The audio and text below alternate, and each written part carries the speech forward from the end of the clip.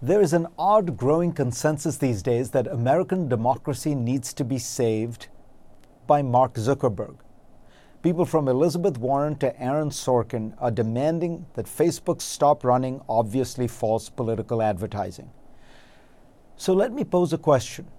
Would everyone be as comfortable if the person deciding what constitutes real news versus fake news were not Zuckerberg, but Rupert Murdoch? It's not a fantasy. In 2005, News Corp bought MySpace, then the leading social network on the planet. Had things worked out differently, it would be Murdoch or a band of Fox News experts who would be determining what counts as legitimate political speech. Are you still comfortable?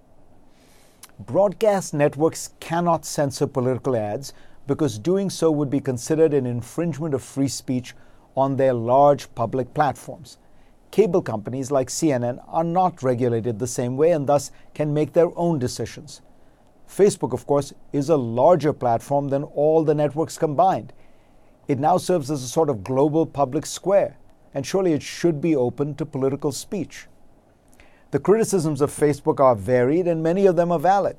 It has been far too lax in allowing and even promoting incendiary messages that end up provoking violence, as in countries like Myanmar and Sri Lanka.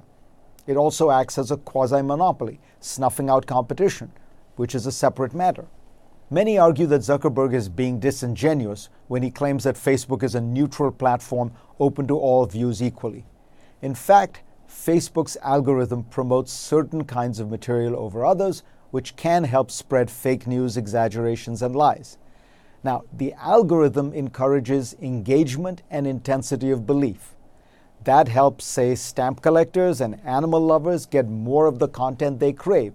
It helps Elizabeth Warren supporters see material they like, and it helps Trump leaning voters see the stuff that excites them as well. Here's the real issue America has become deeply polarized, and each side wants to believe the worst slander and lies about the other, and the problem is worse on the right than the left. The situation with Facebook is a symptom of this problem. If Facebook didn't exist, Trump supporters would listen to talk radio, watch Fox, go to other websites. Facebook accentuates partisanship more than it causes it. Professor Jeremy Weinstein, who teaches a blockbuster class at Stanford on computers, ethics, and public policy, explains that it makes very little sense to think that these choices about what speech is allowed and not allowed should be made by unaccountable tech CEOs behind closed doors in a corporate boardroom. Companies are focused on their own bottom line, which is best catered for if they maximize engagement attachment to their platforms. I don't want Mark Zuckerberg deciding what speech is legitimate in America. I want the government to set parameters for him and other technology companies as to their obligations for what they increasingly are large news platforms. There are many good ideas out there. Invoke something like the Fairness Doctrine, which for decades required broadcast networks to include a range of views in their programs.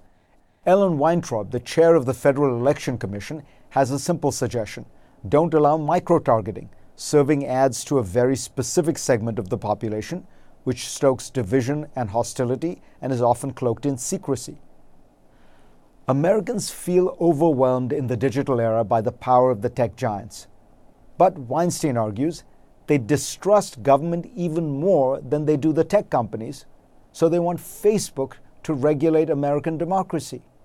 What we need is the opposite. American democracy should regulate Facebook.